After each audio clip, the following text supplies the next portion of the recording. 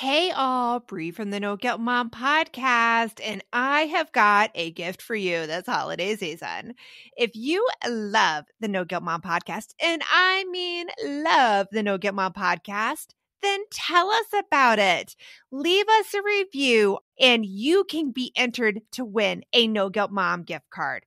All you have to do is leave a review, take a screenshot, and then simply go to noguiltmom.com forward slash review to enter our giveaway for a free No Guilt Mom gift card simply for telling us what you think about the podcast. It is amazing. But don't delay, get right on this as we're going to be giving away that No Guilt Mom gift card on December 21st. So get right on over and visit noguiltmom.com forward slash review.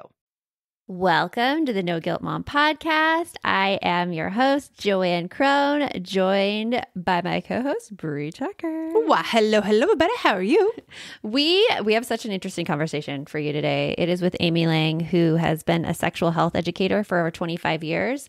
And just to let you know, there's a very frank conversation about sex in this episode. It is very down and dirty. It had a lot of great information for parents, but I don't know if you necessarily want to listen to it with your kids around. I wouldn't. Yeah. It, it might be it might be a little uncomfortable, especially if you haven't like heard the episode first. You know everything that we're talking about. I mean, because we go from everything from sexuality, masturbation, mm-hmm. porn. Everything. Yeah. Yeah. And I don't say like I wouldn't watch listen to it with my kids out of like a shame. It's more of like I wouldn't listen because I would feel so uncomfortable. which we also talk about in the episode. Like our own like part of the problem of trying to get over these conversations with our kids is just dealing with our own shit. Yeah, we have to deal with our own stuff. So we hope you enjoy our conversation with Amy Lang. You want mom life to be easier. That's our goal too. Our mission is to raise more self sufficient and independent kids, and we're going to have fun doing it. We're going to help you delegate and step back. Each episode we'll tackle strategies for positive discipline, making our kids more responsible and making our lives better in the process. Welcome to the No Guilt Mom Podcast.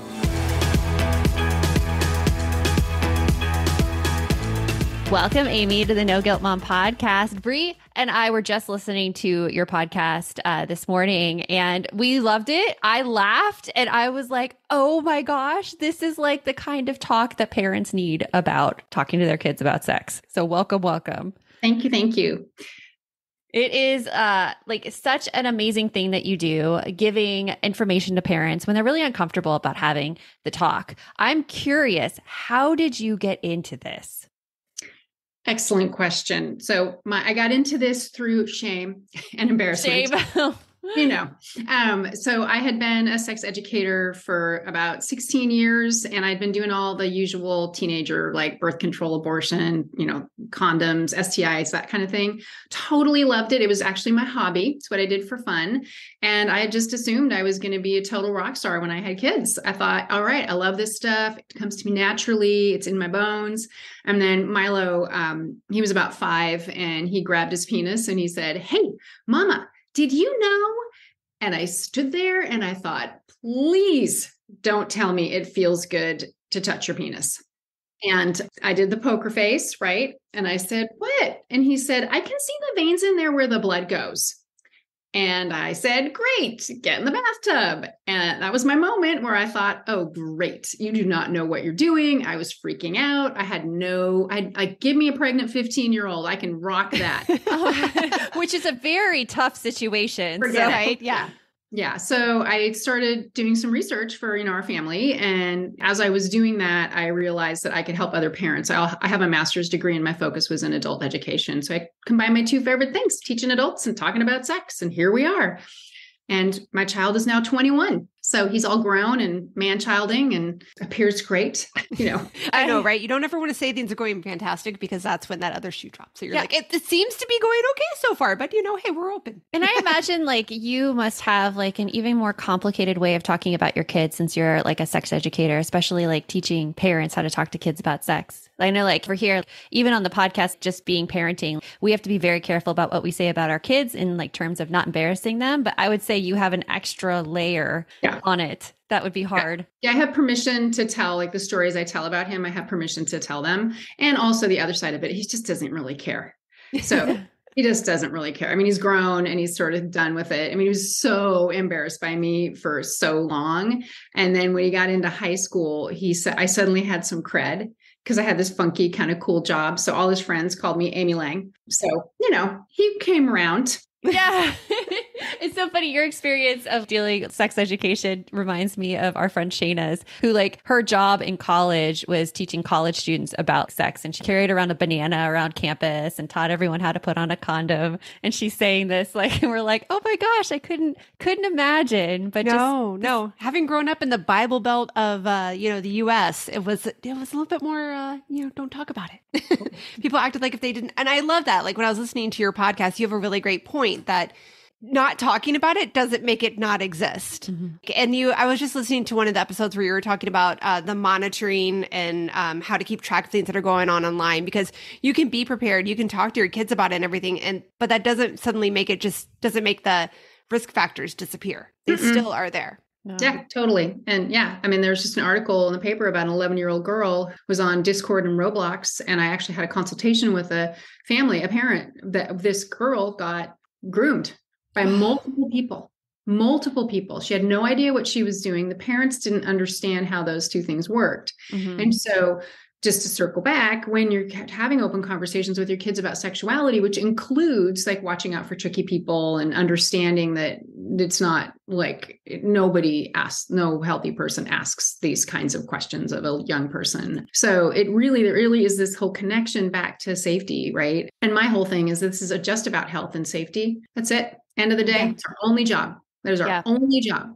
It's not our job to give our kids phones. It's not our job to make sure they're eating well eating you know decent food is our job but there's so much stuff that we fret about and worry about that we forget that at the end of the day it's just these two things. And there's so much now that is not about that right? It's not about that. And it doesn't help. It is about safety and it's really hard as a parent to navigate that especially in the tech landscape because we didn't grow up with this. Most of us did not and it's hard to figure out what's okay online, like in terms of programs, in terms of what to let kids play with, in terms of what's safe and what's what's not okay online. And I know you mentioned a lot about monitoring and tracking. What can parents do? How can they start if they have nothing in place right now in terms of monitoring and tracking their kids online? Well, the first thing is you just need to understand you know, my universe around this is around porn. Your child will see pornography before they make it to 18, 100% guaranteed. So no one needs to, well, I know people, grown up people like to, people like that. I don't. I look once a year and I'm always like,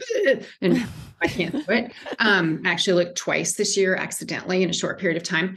Um, so the first thing is you have to understand that they are going to see pornography. We talk about the internet, it's the world wide web. We go online, we go there for everything, right? It's the oracle. So if you're not talking with them openly about sexuality, they're going to go Google penis, they're going to Google boobs. And if you're bored, and you're listening to this, whip out your phone, Google penis, mm-hmm. can't unsee things. There's photos on there, definitely. Oh, yeah. I mean, easy to get to videos, right? It's like a heartbeat. So, you know, so the place to start is using monitoring and filtering.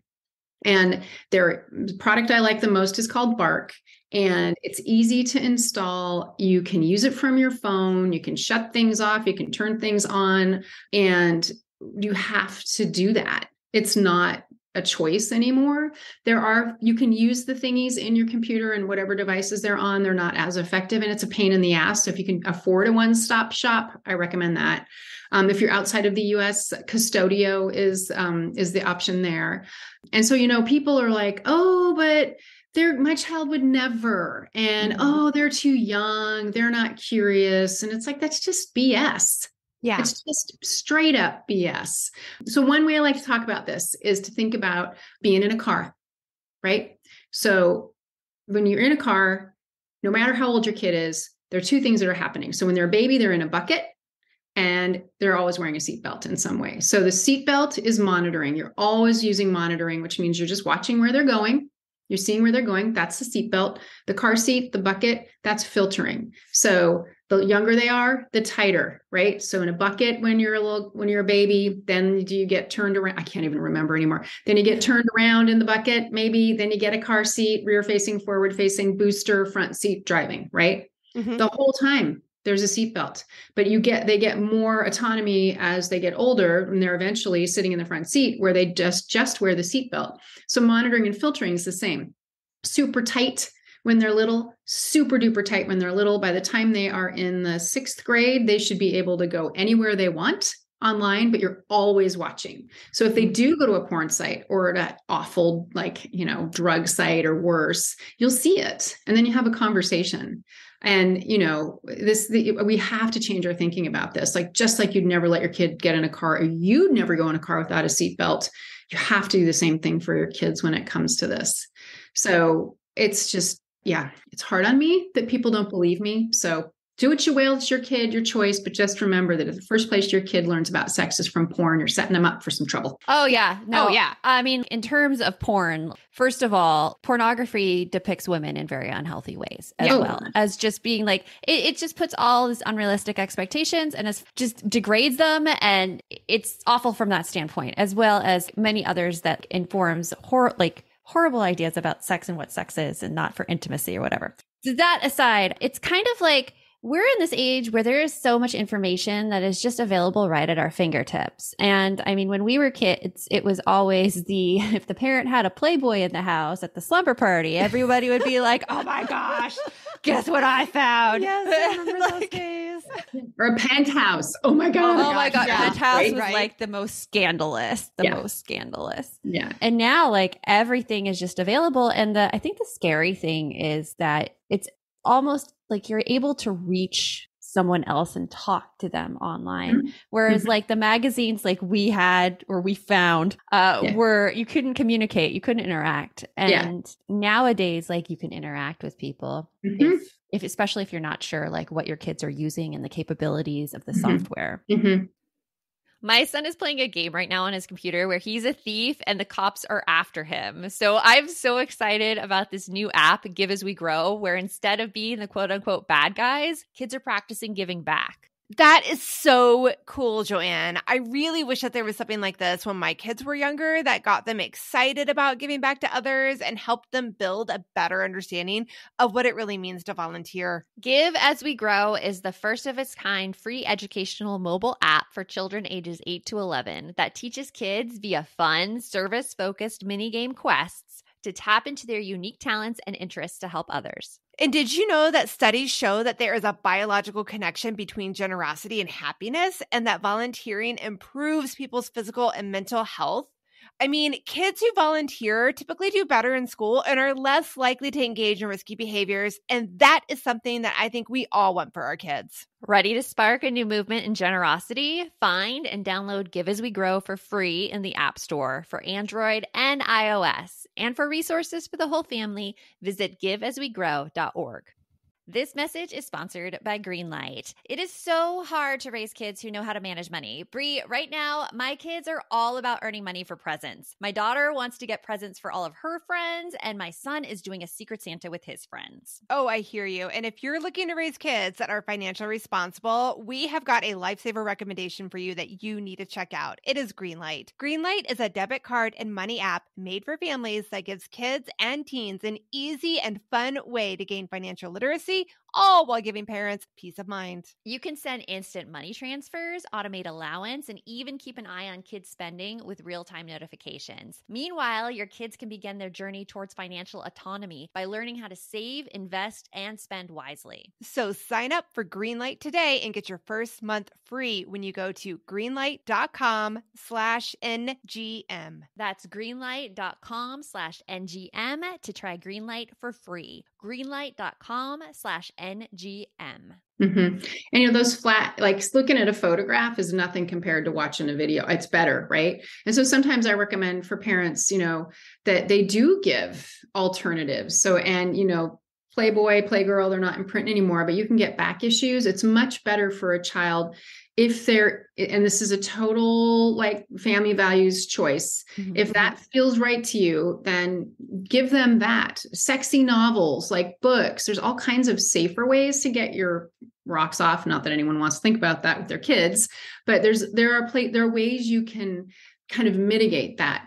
And um and yeah, what they see in the videos, they think that's how you do sex. Oh yeah, yeah, because that's think what they that's how you see. do sex, right? It's and porn starts in the middle, and nobody's penis is that big, and there's no, they're all hairless. And last time I They're checked, there was no delivery guy that came to my house and was like, "Here's my package." No, like well, come on, let's have a storyline. No, it's just like banging it out. Oh my Um, so just one thing that I think is also helpful for parents to know, just in terms of sexuality education. So up until they are kids are about like I can never remember, like 13 ish. Parents have the most influence over them in terms of their sexual health, their sexual education, their sexual identity. We have, we are the most powerful. Um, peers are way down here. So then, as you may recall, as they get into high school, their peers and the parents were still neck and neck, but the peers are actually a little bit higher in terms of their influence. So if you get the sex talk started sooner, like starting at five, starting in kindergarten, doing it throughout, keeping it up, even when they're doing the old talk to the hand thing, you're you have this place and this space where you establish yourself as an expert. They'll be more likely to come to you. They'll be more open to the conversation. And so by the time they're in those high school years, you're in there, you're in their brains and you've talked about your values. And so the peer stuff's going to be coming at them um, which is fine. But if you know you've really worked hard to make sure that they, and my whole goal, like with Milo, was I want him to be the smartest kid on the playground. Like that should be your goal, smartest kid on the playground. And even town crier, right? Like most people are like, oh no, if I tell my child the penis goes in the vagina, are they going to go tell everyone? And I'm like, A, probably not. And B, if someone says, you know, sex is when you kiss with tongues, and your kid's like, okay, not so much. Not so yeah. It straightens out. I love what I love what you said about them being the smartest kid on the playground. That's something that I think like I I've done with my daughter. However, like kids have different personalities and my son is one of those shut down, like don't want to talk about it, totally embarrassed, and it's harder to have those conversations. So how And do it's you? harder to start that. Yeah. So so do you have any advice on like how do you how do you break through those that have the tougher shell? The ones that every time you try to talk to it, they just are like, nope, stop, mom, I don't want to hear it. Mm-hmm. Yeah. So my child told me that he would rather talk to strangers than me or his dad about sex. Sounds like my kids. Also- Okay. And also told me that um, he would never ask us a question. So, and here I am, right? Mhm. I'm like, Yeah. great. Like I have all this information, and you know, it's like a, you know, I have to, you know, put my professional hat on, but I have this whole thing going on in my own household. So here are some things. So first of all, if you have a kiddo that is very reticent, there's some things you can do. So, first of all, uh, use the world around you. So, you're watching a show together and there's an interaction between um, a couple, and you're like, in your head, you're like, oh, that was not good. Then you just say, hey, remember when we were watching Never Have I Ever, which is my current favorite show for people to watch with their children? Um, and this happened. Um, you know, I really, I didn't like that. It felt XYZ to me. And then you always say, Did you notice? What'd you think? And they say, "Meh, uh," right? They, that sounds They- right. Yeah. right. And what you're doing is you're sprinkling in, right? You're sprinkling in. So use the world around you. Um, use your other kids. So if you have older, younger kid, and usually what's hap- happens is the older child will not talk and the younger child is chatty. I've seen this over and over again. So capitalize on the chatty, curious ch- kiddo. So just talk about stuff in front of the other kid. Um, the other thing to do too is to um, use your timer like, and just say, look, I need two minutes, two minutes of your time, set your timer, you say your thing, um, and then you've done your thing. Get them books, um, bribe them. Um, I, I use all the tools. I know you're like positive discipline person, right? And I've had my, I am too. And my, there are people like bribe never, and I'm like, oh no, No, um, no. all the tools in the toolbox. Oh, Um, yeah. And then the other thing you can do for yourself and for your child, which is really helpful, is there's a thing you want to talk about, like masturbation. Okay. So what you can do is say, and I did this with Milo on the regular. Hey, there's a sex thing I want to talk to you about. We can do it now or do it later. Guess what they always say? Do it now. No. no, really?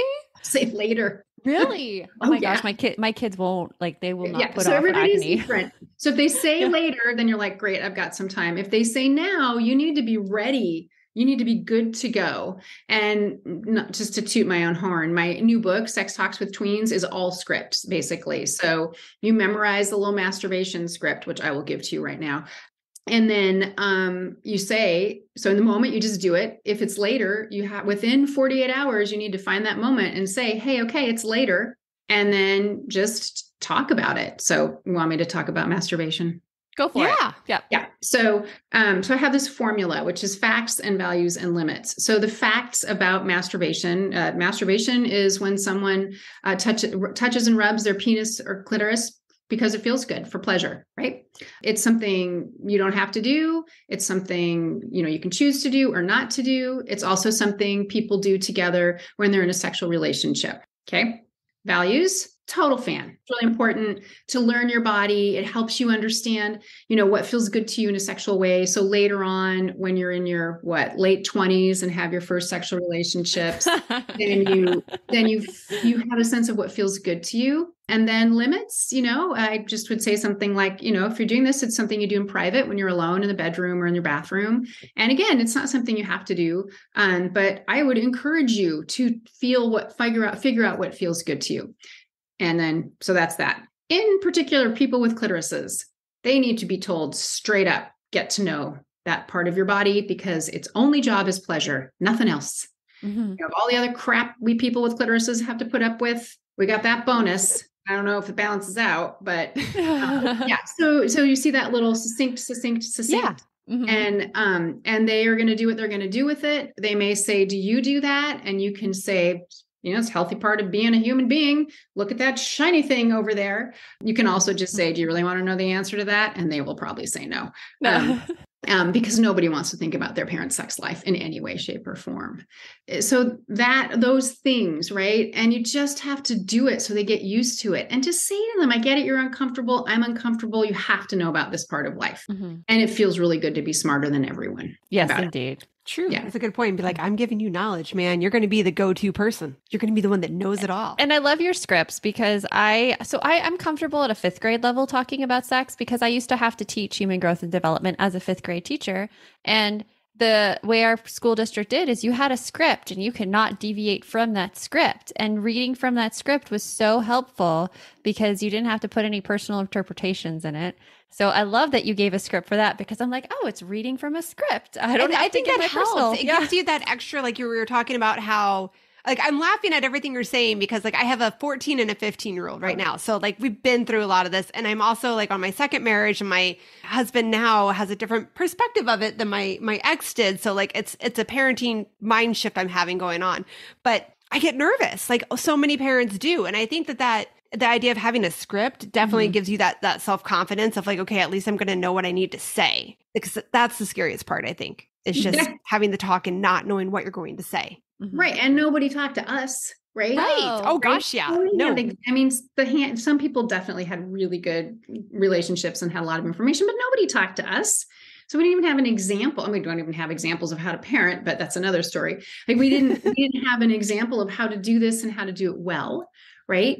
And um, you know, and I think in general in parenting, you know, we also were raised in a way where most of the time our parents were never vulnerable or not per- or vulnerable. I don't know. My parents were not vulnerable at all ever. Um, but saying to your kiddo, you know, I'm uncomfortable talking about this, but just saying it, I'm uncomfortable. I'm probably going to screw it up, but here you go. And you say the thing. And, you know, one of the lovely things about having people who are over the age of 12 is you do not need to edit screen. You can say all the things, all the words, just, just don't worry about it. It was so glorious when Milo was, I'm like, all right, thank God I don't have to be so careful with you anymore. And again, that kind of just circles back to where we started with the porn talk, right? You got to get in there first. You know, you're going to do the best you can, right? You're going to do the best you can, but there, this is something that you can learn to do, and it's fun and funny, right? Yeah, I mean, It is sex, funny. Sex is fun, right? Sex is fun. It should be fun, and that's one of the messages our kids don't get, right? They get this sort of like we did, this sort of gloom and doom and don't do it. You're going to get in trouble. There are all these problems. I mean, imagining the sex ed curriculum you were teaching was mm-hmm. very like neg- negative. It was I mean, by the book. It was very anatomical. Yeah. Really is. yeah. So that's the other thing that I think is really important is that we quit thinking about this in terms of prevention, right? Yeah, It's it's gonna happen. Yeah. It's preparation. Like, don't you want your kids be to be prepared for this part of life? Mm-hmm. mean, Exactly. I wasn't. Hey, Aubrey here, and I wanted to share one of my favorite gifts to give during the holiday season a Storyworth book. It is the most amazing gift ever. Storyworth is an online service that lets you create a special and unique gift of someone's story. I've given Storyworth books to both of my parents, and it has been their favorite gift, hands down. And did I mention it is so easy? Storyworth emailed my parents questions every week that I handpicked from their massive list of questions that they have. All my parents had to do was open their email and answer them. That easy. I asked my dad questions like, Did you have any rules that you set for yourself as a parent, which you immediately broke? And he did. I even asked both of my parents, Are you more like your mom or your dad? And they shared a lot of really amazing qualities that I didn't know about my grandparents at the time. Then at the end of the year, Storyworth compiles all of their answers, puts them into this gorgeous book that covers everything. My parents love showing us their books, and I personally love getting a chance to read them. With Storyworth, I am giving those I love a thoughtful and personal gift from the heart that preserves their memories and stories for years to come. Go to storyworth.com slash NGM and save $10 on your first purchase. That's storyworth.com slash NGM to save $10 on your first purchase.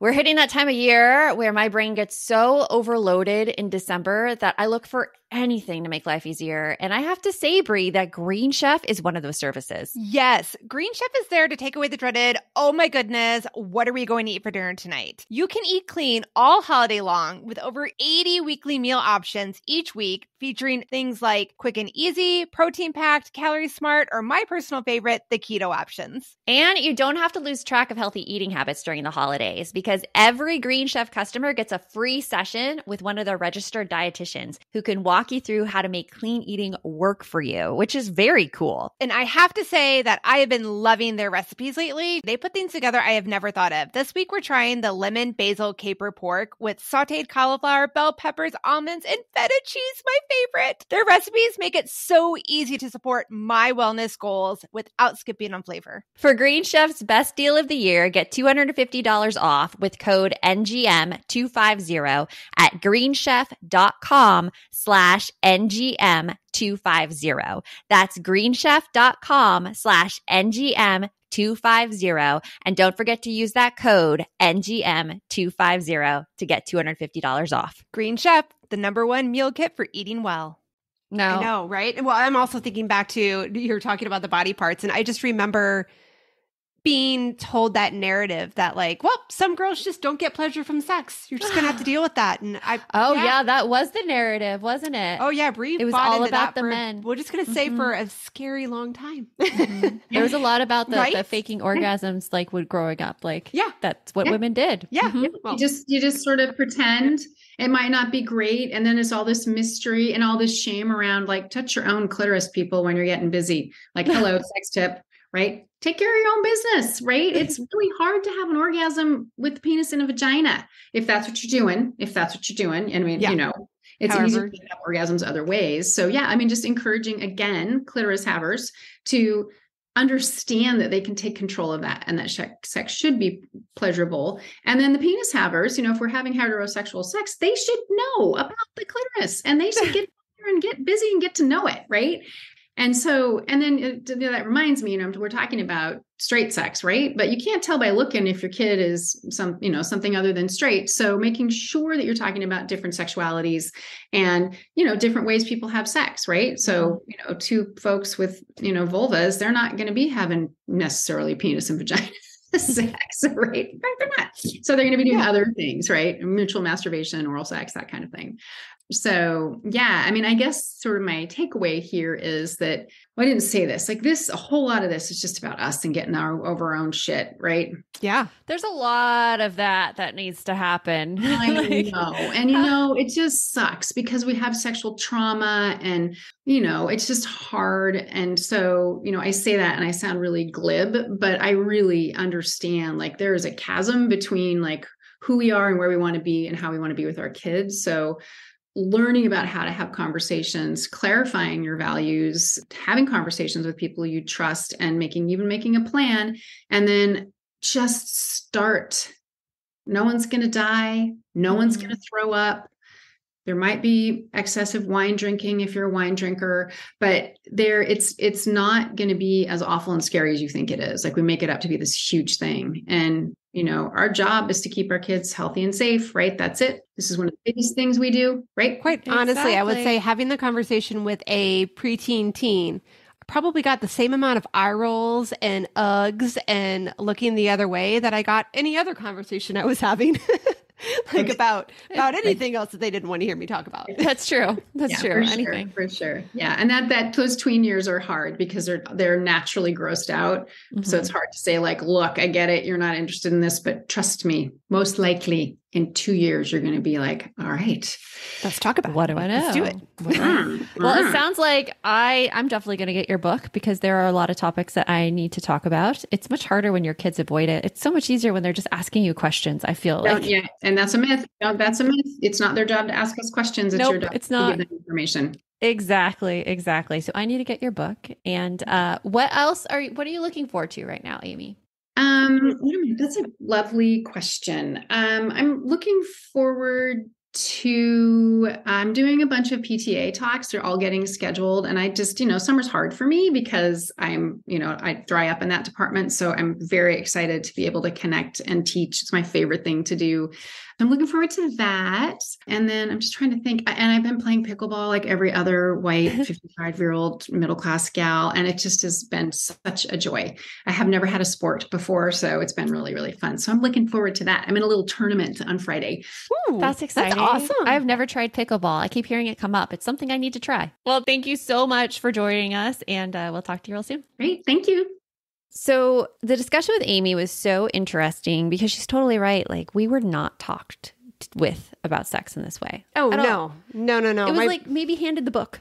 Oh, the best I got was, um, and I love you, mom, if you're listening. But uh, I remember when I was a freshman in high school, and she just said, "You know, we're gonna go put you on the pill."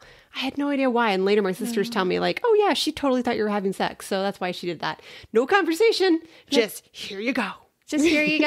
and Here I you think that's kind of how things were done. It's funny. I had a friend whose mom was the school nurse, and the school nurse also gave the sex ed discussions at her school. Okay. So here she was, like in sixth grade, and her mom was the one. Oh, that would be so uncomfortable for you as a sixth grader. I could not. school. I Yeah. could not imagine. I could not imagine, but I mean, she grew up having a very like frank view of it and just being very comfortable with it. And I would love for my kids to have that too, because so much of sex ed is rooted in shame. It's like, don't do this or this is bad. And Yeah. It shouldn't be. No, I mean you're right. Like that is pretty much the go-to system that our our families, uh, that our parents had have had for generations. Of the whole like you don't do it, it's bad, it's wrong. It, it but the truth of the matter is we all know it happens. We all know it's going to happen. So why not give your kids the knowledge so that they know what they need to do going forward? I would like to always think of like, what would someone in France do?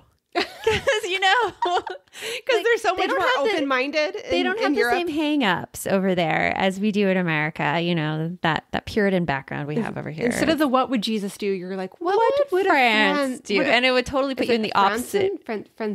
France, would be like German.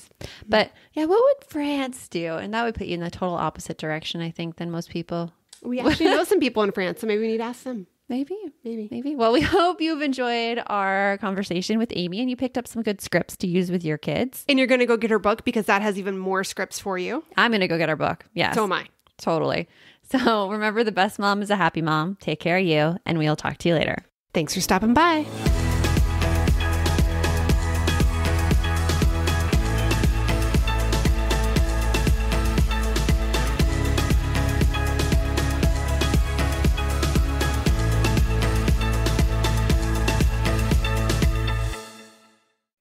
Are you looking for something to listen to with your whole family? Then check out Six Minutes, produced and created by Gen Z Media. With over 200 twisty, cliffhanger filled episodes, Six Minutes tells the story of 11 year old Holiday who is pulled from the icy waters with no memory of who she is or where she came from. Three years ago, Brinley Pasternak helped the Anders family uncover the truth about Holiday's past. Now she'll need them to help her find the truth about hers. In Six Minutes Out of Time, the long awaited sequel, Cyrus Anders is found unconscious near the mysterious Elixir Academy in Florida, and Brinley learns the school may have a shocking connection to her missing mother. Dive in now and get the most downloaded family audio adventure in history. Follow Six Minutes wherever you get your podcasts. You can listen early and ad free with the GZM family subscription.